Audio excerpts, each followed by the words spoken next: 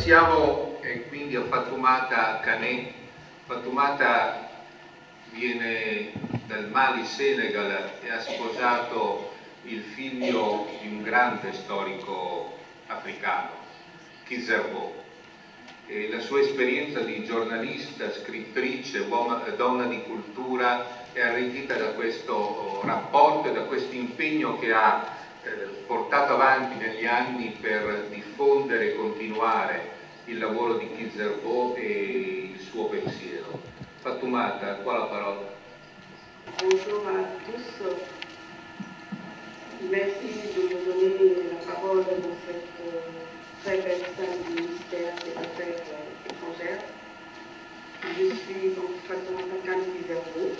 Je suis économiste de formation. Je suis également écrivain, auteur de quatre ouvrages. Et personnellement engagée dans cette campagne pour l'attribution du prix Nobel de la paix aux femmes africaines.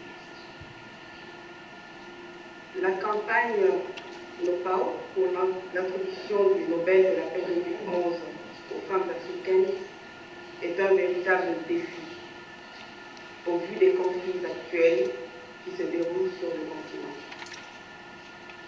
Ces conflits inexcusables démontrent encore la fragilité des femmes face à des violences multiples, mais aussi leur rôle majeur de passerelle entre les communautés. Elles sont en effet un maillon important et incontournable dans la consolidation de la paix et la reconstruction. Non seulement elles maîtrisent mieux le tissu social, de par leur proximité continue avec les populations, mais elles sont également confrontées quotidiennement aux problèmes majeurs qui minent les sociétés africaines post-conflit. Dans une certaine mesure, une culture de la paix est synonyme de culture de la vie.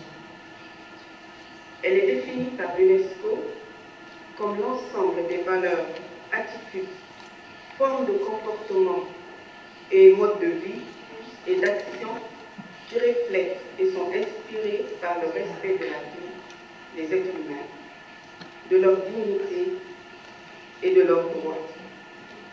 Le rejet de la violence et le dévouement aux principes de liberté, de justice, de solidarité, de tolérance et d'entente au sein des peuples et entre groupes et individus. Nous voyons bien que c'est un vaste programme. La paix ne peut être imposée à une société ou une communauté. Nous pensons qu'elle doit se développer de la base au sommet. Les femmes africaines se battent pour leurs droits et pour améliorer leur place au sein de la société. Elles sont les principales actrices de la promotion de la culture de la paix, mais sont souvent limitées par l'inaction des pouvoirs de décision. Reconnaître aujourd'hui le rôle primordial des femmes en Afrique en donnant une visibilité claire de ce qui est véritablement leur vie, en transmettant l'information juste sur leur formidable courage, leur envie de vivre dans la paix, d'éduquer leurs enfants, leur volonté de faire qui permet de braver d'énormes obstacles pour être des passerelles de paix et de joie de vivre est un engagement politique véritable. À l'instar d'autres instruments internationaux voués à la défense des droits humains, le bien fondé de la résolution 1325 du Conseil de sécurité de l'ONU sur les femmes, la paix et la sécurité ne doit pas être uniquement analysé par rapport à la pertinence de son contenu. Son bien fondé se situe au niveau des changements significatifs que sa mise en œuvre est supposée générer.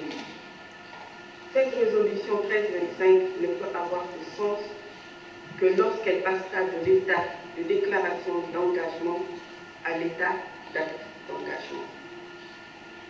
La campagne pour l'octroi du Nobel aux femmes d'Afrique est une manière originale et intelligente de donner une visibilité et une chance à toutes les femmes de l'ombre qui méritent que leurs problèmes soient connus, que leurs projets soient discutés et soutenus et que toutes les mains d'Afrique et d'ailleurs leur soient tendues qu'elles sortent enfin des généralités et des statistiques négatives des pouvoirs publics nationaux et internationaux et qu'enfin l'intelligence prime sur les certitudes primaires. À la croisée des chemins du nouveau millénaire, face aux multiplications des résolutions et à l'inefficacité de leur application pour une meilleure protection des femmes et une prévention des conflits, les femmes du continent africain, de par leur engagement sur de multiples fronts d'apaisement, de travail, de dignité, d'abnégation, portent effectivement sur les épaules apparemment frêles les espoirs et la survie de tout un continent.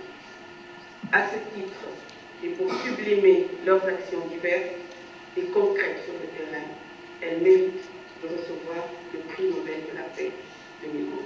Je.